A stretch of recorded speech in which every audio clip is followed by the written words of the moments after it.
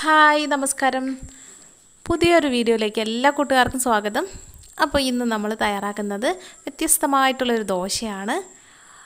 മുട്ടയും ചീസൊക്കെ ചേർത്തിട്ടുള്ള അടിപൊളി ടേസ്റ്റി ആയിട്ടുള്ളൊരു ദോശ. നമുക്ക് എങ്ങനെയാണ് തയ്യാറാക്കേണ്ടത് നോക്കാം. അപ്പോൾ ആദ്യം തന്നെ ഇതിനായിട്ടുള്ള എഗ് മിക്സ് നമുക്ക് റെഡിയാക്കി എടുക്കാനായിട്ട് മുട്ടയിലേക്ക് ഒരു മുട്ടയാണ് എടുത്തിരിക്കുന്നത്. കുറച്ച് കുരുമുളക് പൊടിയും കുറച്ച് ഉണക്കമുളക് ചതച്ചതും കുറച്ച് ഉപ്പും കൂടി ചേർത്തിട്ട് നന്നായിട്ട് നമ്മളൊന്ന് മിക്സ് ചെയ്തെടുക്കണം. അപ്പോൾ ഒരു ദോശയ്ക്ക് ഒരു മുട്ട തന്നെ വേണം. ഞാൻ ഇവിടെ ഒരെണ്ണം ഉണ്ടാക്കുന്ന കാണിക്കുന്നത് അപ്പോൾ ഇത് നന്നായിട്ടൊന്ന് മിക്സ് ചെയ്യുക. നന്നായി ഉപ്പൊക്കെ ഒന്ന് പിടിക്കാനായിട്ട് നന്നായിട്ട് മിക്സ് ചെയ്യുക. കുരുമുളക് പൊടിയൊക്കെ കട്ടയായി കിടക്കാൻ കിടക്കാതിരിക്കാനായി ശ്രദ്ധിക്കണം. ഒരുപാട് എരിവായി പോകും ഇനി നമുക്ക് ദോശ ഉണ്ടാക്കാൻ തുടങ്ങാം. അപ്പോൾ ദോശക്കല്ല് ഇവിടെ ചൂടായിട്ടുണ്ട്. ദോശയിൽ എണ്ണ പുരട്ടരുത് ദോശക്കല്ലിൽ നമ്മളൊരു ഇളം ചൂട് ചെറിയ ചൂടിൽ തന്നെ ദോശ ഒഴിക്കണം. എന്നാലേ നല്ല നമ്മൾ ക്രിസ്പി ആയിട്ടുള്ള ദോശയെല്ലാം ഉണ്ടാക്കാൻ നന്നായി പരത്തിയെടുക്കണം. അപ്പോൾ നല്ല ചൂടുണ്ടെങ്കിൽ പറ്റില്ല. അതുകൊണ്ട് ചെറിയ ചൂടായിരിക്കണം. എന്നിട്ട് ഇതുപോലെ നന്നായിട്ട് തിന്നായിട്ട് പരത്തിയെടുക്കുക അപ്പോൾ ഈ സമയത്ത് ലോ ഫ്ലെയിമിലായിരിക്കണം കത്തിച്ചിരിക്കുന്നത്. ഇനി കുറച്ച് വെജിറ്റബിൾസ് ഉണ്ട്. അങ്ങനെ കാര്യമായിട്ടുള്ള വെജിറ്റബിൾസ് അല്ല. സവാള ചെറുതായിട്ട് കട്ട് ചെയ്തത്. പിന്നെ പച്ചമുളകും അതുപോലെ തന്നെ കുഞ്ഞു കുഞ്ഞായി കട്ട് ചെയ്തതാണ്. അതൊക്കെ വെറുതെ ജസ്റ്റ് പേരിന് മാത്രം ഇട്ടാൽ മതി. നമ്മൾ ചില്ലി ഫ്ലേക്സും കുരുമുളക് പൊടിയൊക്കെ ഇട്ടതല്ലേ? പിന്നെ കുറച്ച് മല്ലിയിലയാണ് ഇട്ടത്. ഒന്നുകൂടെ സവാള ഞാൻ ചേർത്ത് കൊടുത്തിട്ടുണ്ട്. ഇനി നമുക്ക് ഇതിന് മുകളിലേക്ക് നന്നായിട്ടൊന്ന് ഓയിൽ ഇട്ട് കൊടുക്കാം. നമ്മൾ ഓയിൽ ഇതിലേക്ക് ആഡ് ചെയ്ത് കൊടുത്താൽ മാത്രമേ നന്നായിട്ട് ക്രിസ്പി ആയിട്ട് വരുള്ളൂ.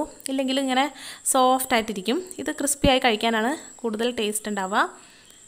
അപ്പോൾ ഇതേ ഓയിലൊക്കെ ചെയ്ത് കൊടുത്തു നമ്മൾ.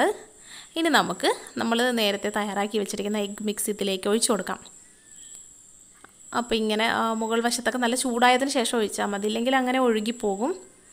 ഇത് ഒഴിച്ചു കൊടുത്തിട്ട് പതിയെ ഇങ്ങനെ ദോശയുടെ മുഴുവൻ വശത്തേക്കും സ്പൂൺ കൊണ്ട് തന്നെ ഇങ്ങനെ സ്പ്രെഡ് ചെയ്ത് കൊടുക്കാം. അപ്പോൾ ഫ്ലെയിം കൂട്ടിയിട്ടാൽ നമുക്ക് അങ്ങനെ ചെയ്യാൻ പറ്റില്ല. അതുകൊണ്ട് തന്നെ ഫ്ലെയിം ലോ ഫ്ലെയിമിൽ തന്നെ ആയിരിക്കാനായിട്ട് ശ്രദ്ധിക്കണം.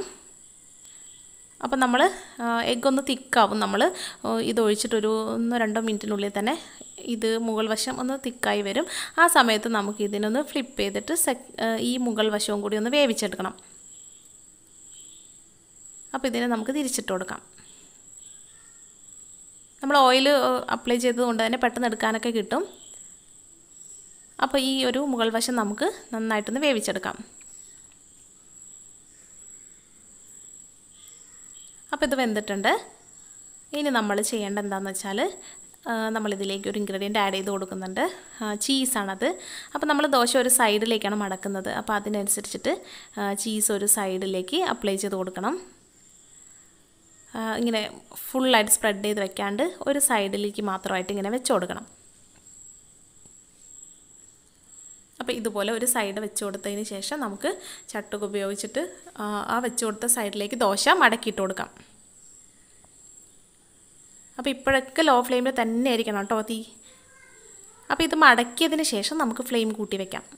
മൊരിയിച്ചെടുക്കണം നമുക്ക്. മാത്രമല്ല നമ്മൾ ഇതിനകത്തേക്ക് വെച്ചിരിക്കുന്ന ചീസ് നന്നായിട്ട് മെൽറ്റായിട്ട് വരികയും വേണം. ആ സമയത്ത് നമുക്ക് ഫ്ലെയിം ഒന്ന് കൂട്ടിയിട്ടിട്ട് ഇതുപോലെ പ്രസ് ചെയ്തിട്ട് നന്നായി ക്രിസ്പി ആക്കി എടുക്കാനായിട്ട് പറ്റും.